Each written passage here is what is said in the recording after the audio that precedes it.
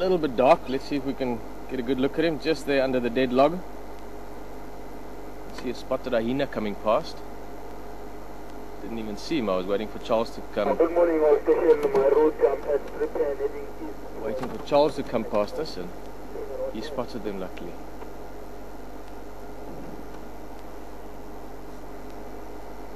Into that right, huh? Likewise.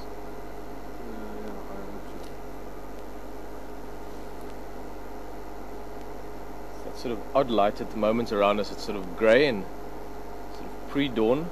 But obviously with this overcastness, it's a bit darker. Preferably don't want to put the spotlight on it just because of the other vehicle that's sitting here as well.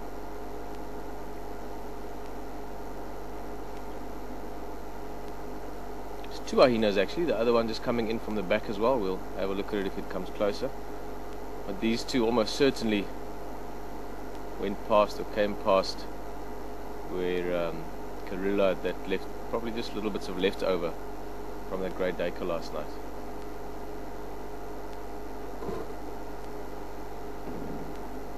Checking us out a little bit. I don't know if you noticed yesterday, Alex, also that leopard is uh, slightly more aware of you Yeah. on this vehicle compared to on the tank. Look at that. Both hyenas, spotted hyenas.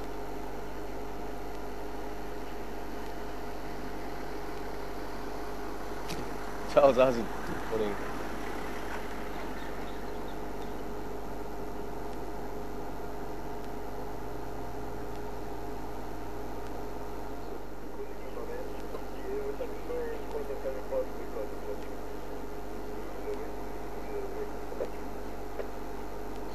females typically larger than the males.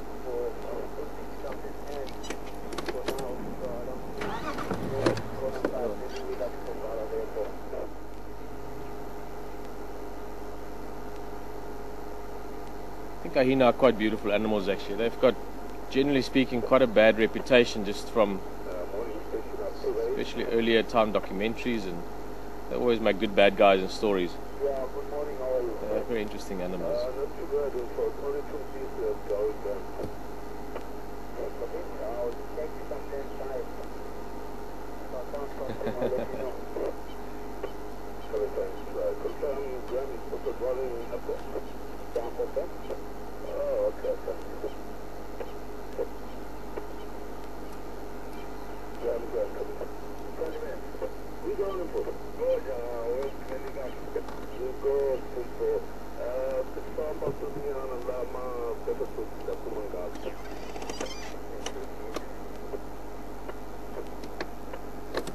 Interesting.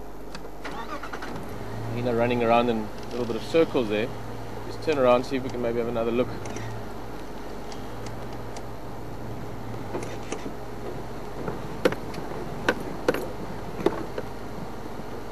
See, here it comes back again.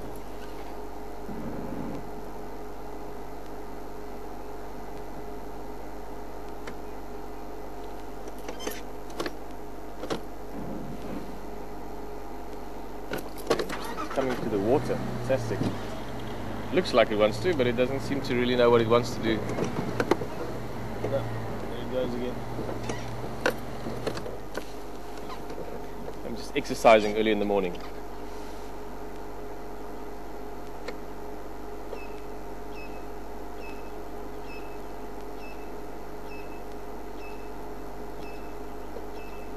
Spotted hyenas, of course, cover a lot of ground at night. They scavengers, and just by essentially walking long distances, well, they're very good hunters as well, but especially in this area, they're mainly scavengers.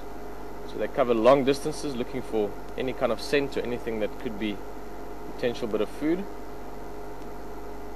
And these ones probably just heading down the river for a bit, find a place to sleep. They don't necessarily always go back to the den. I only find that it's your females with youngsters that stay at the den a lot.